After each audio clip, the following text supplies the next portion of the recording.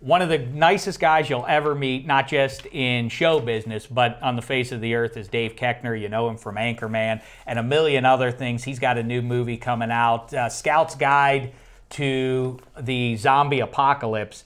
And I got a chance to sit down with him. Here's our conversation. He's delightful. Here we go, everybody. A big star from the world of show business. He is one of the stars of Scout's Guide to the Zombie Apocalypse, the great and good Dave Koechner. How are you, fella? I'm fantastic, Dave.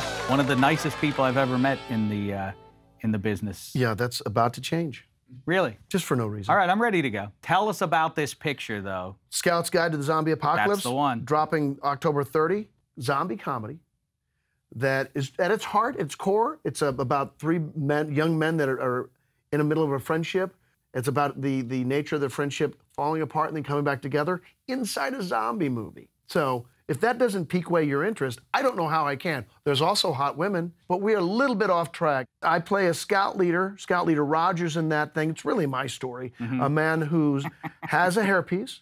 It's a good-looking hairpiece. What do you think about this? I, if I can make it about me for a moment. Please do. I'm going bald back here. Now, really, you, I, you know, if you don't mind me saying so, they, it's too far gone Chrome for you. dome. Right. You've seen. Remember Ron Popeil 15 years ago? He Yeah. had that. You could spray it onto your hair. Now they have it. Looks like a salt and pepper shaker. Yeah.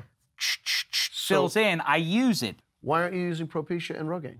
I don't know. It's like the Jedi stuff. It Yeah, yeah. only works Which, on the by the way, mind. I'm in the new Star Wars picture. Is that right? I didn't know that. That's a lie, but I'm gonna start spreading the around. Do that one. Here's the thing: you wouldn't know. Like I say, I was. They'd say, "What part?" I'm like, "I was a stormtrooper." Perfect idea. Yeah. So- You. I was in the trailer. You didn't see me. I am. Very clever. Let's talk about the Chiefs, though. Chiefs. So you, uh, what, Ouch. who's your biggest rival? The Chargers, the Raiders, or the Broncos? Who do you hate the, most? Well, right now the Broncos. Mhm. I would, the only reason I wanted the Broncos to win uh, a couple years ago against the Seahawks was because I was hoping that Manning would then retire. Hmm. But they were done within the first four minutes. Yeah, pretty much. That Game was over. Yeah. Do you think Peyton, have you gotten a chance to take a look at him this year? Look at that. Isn't that the best? I've said this before. I'm going to say it again to you now. The best of all referee symbols is the safety. I don't think there's a close second. Does it actually mean this? Didn't have a prayer. Am I right, bro? this guy. That's, that would be a fun story to investigate the origins of all those signs. Right. If you were a referee and you had to signal touchdown, there's a bit of variation from ref to ref. How would you make the? I like this one. I like mimicking the goalposts Mhm. rather than like, look at me. That's right. Hey, fans. Isn't that this is a little bit of it's not about the game now. no, I'm refereeing. it's about Ed Hochuli or whoever's wearing that striped yeah. jersey. That's I'm a right. rocket. Dave Koechner.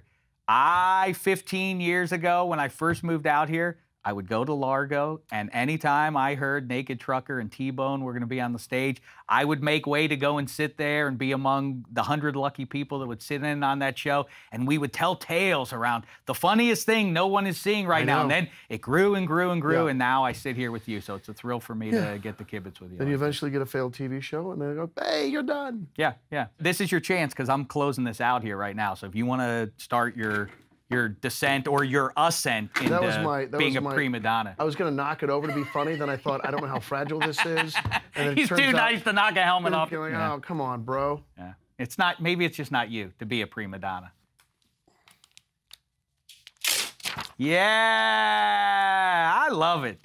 Take that, NFL. Watch it. And make sure you watch Scout's Guide to the Zombie Apocalypse, coming out October 30th, unless you're a night owl and maybe they're showing the movie at the crack of midnight. Yeah, there. we are. We're going to do a midnight screening. Of That's course, Scouts Guide to the Zombie Apocalypse. It's a Halloween movie. Get your ghouls on. Mm-hmm. Let's come out. Let's have some laughsies. That's right. The great Dave Koechner, everybody.